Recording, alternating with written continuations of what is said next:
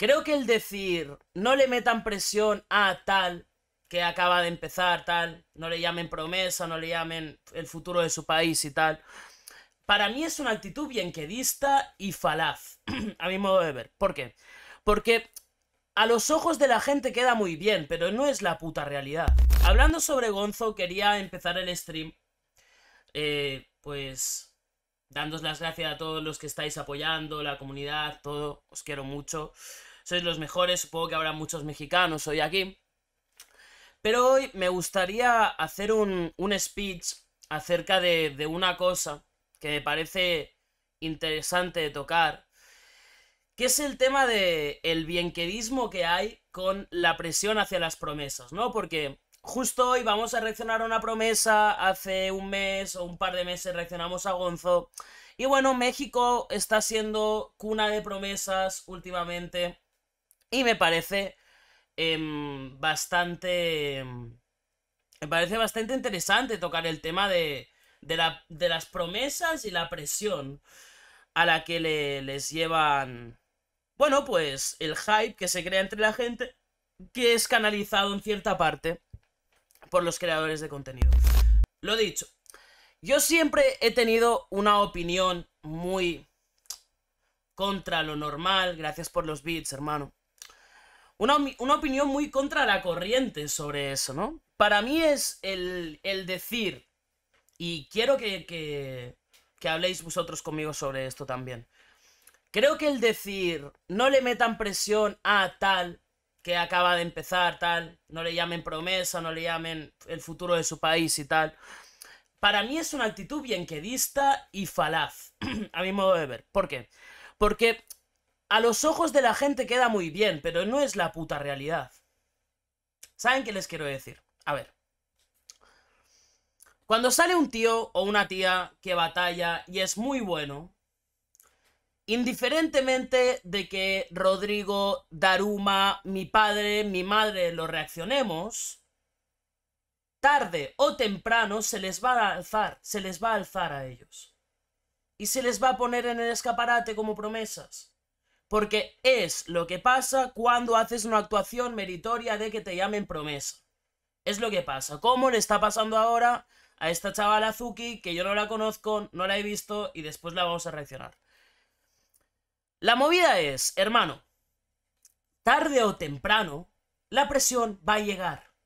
Y el hecho de que nosotros, uno de los videoreaccionadores o streamers que nos dedicamos a las batallas, digamos, ojo con este tío, es la promesa de su país, el futuro de México, el futuro de España, no va a cambiar nada. Y es más, te voy a decir más el estar en el escaparate y el ser considerado promesa con toda la presión que eso conlleva, a la larga es bueno para el MC. Y estoy convencido de ello. Yo por suerte tengo la suerte de charlar a menudo con competidores tanto en vivo como fuera del vivo. Y siento que es un sentimiento que está ahí. Quiero decir, a ver, por ejemplo, vamos a poner el caso de Gonzo, ¿vale? Vamos a poner el caso de Gonzo porque es el caso más reciente lo que pasó. Sale Gonzo. ¡Buah! Gonzo, el futuro de su país, tiene que estar en FMS, el nuevo Gacir, bla, bla, bla, bla, bla. Estuvimos Rodrigo, yo, pues mucha gente diciendo que Gonzo era el, eh, el futuro de su país, que lo es. Que lo es. ¿Qué pasa? Llega Repul y hace una mala actuación. Y ciertos sectores del medio de entretenimiento culpan a los creadores de contenido de inflarle. ¿Ok? Y ahí salen pues todos los bienquedistas a decir tal, no sé qué. Eh, es que tío, lo habéis presionado mucho, vale. Ok. Te voy a decir una cosa. La presión que tuvo Gonzo con todos los opinadores, todos los opinólogos que dijimos que es el futuro de su país, esa presión a la larga le va a hacer bien.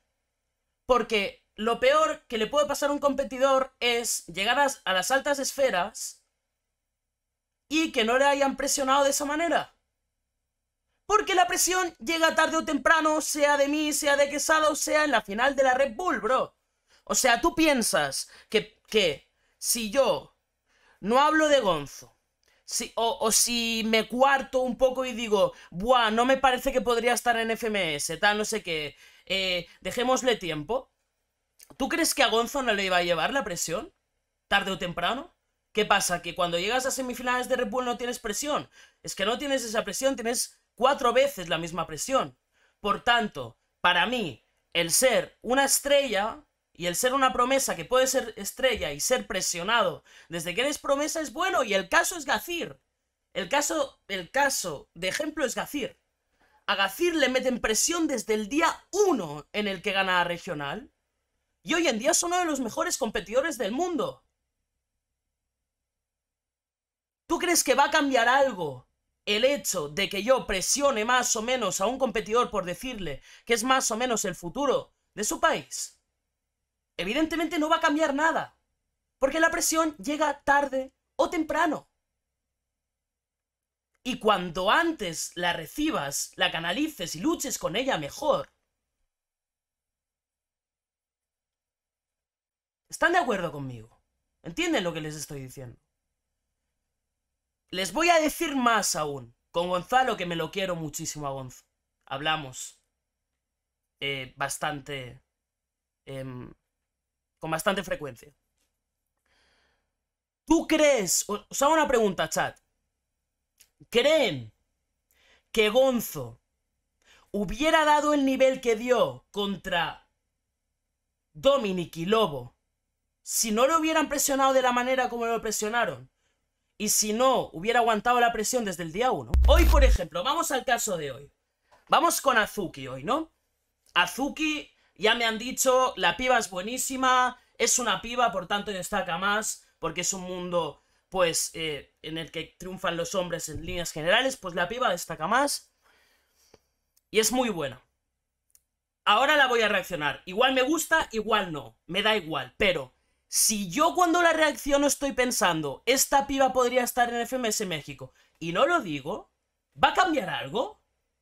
¿Tú crees que de los 200 mm, pavos que se dedican a lo mismo, yo sé que tengo más poder de influencia, pero de los 200 pavos que se dedican a lo mismo, te lo, te lo pongo más corto, de las 10 personas que estamos fuertes en este momento en Twitch, ¿tú crees que ninguno de ellos va a decir lo que yo no digo? Amigo, vives en Matrix. Vives en Matrix. Por tanto, por un lado, la opinión de no presionáis tal es bien quedista y por otro lado es irreal y va en contra de lo que es la puta realidad. Que es que la presión va a llegar tarde o temprano. ¿Sabes qué te quiero decir? Y también te digo otra cosa. Al, al menos de mi parte.